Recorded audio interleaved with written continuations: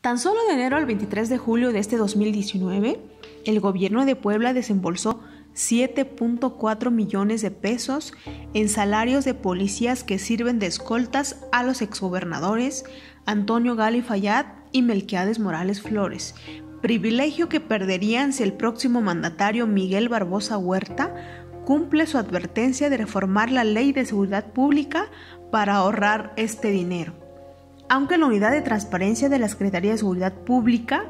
se reservó el dato de cuántos agentes cuidan a cada uno de estos políticos bajo el argumento de que revelar esa información pone en riesgo sus vidas, tomando en cuenta la modificación que Rafael Moreno Valle mandó a realizar a la ley en diciembre del 2012, es Gali Fayad quien está mejor protegido con cargo a los poblanos.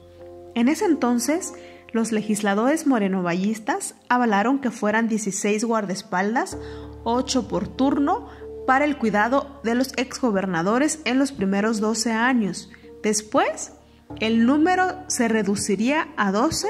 6 agentes por turno. En el caso del priista Melquiades Morales, hasta antes de esa reforma, estaban permitidos 7 agentes.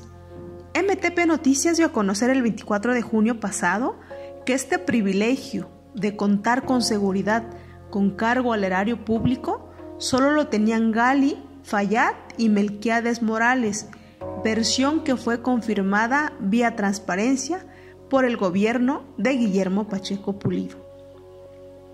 El exmandatario Rafael Moreno Valle Rosas también contaba con este servicio, pero se suspendió tras su muerte en diciembre del 2018 en un accidente aéreo.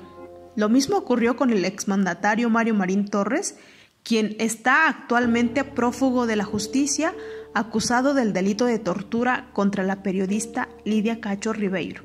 quien se quedó sin protección del Estado en abril pasado cuando huyó de Puebla por ser buscado hasta por la Interpol. Según la información oficial, otros exmandatarios como Mariano Piña Olaya o Manuel Bartlett no cuentan con guardaespaldas con cargo al erario público, informó Elvia Cruz.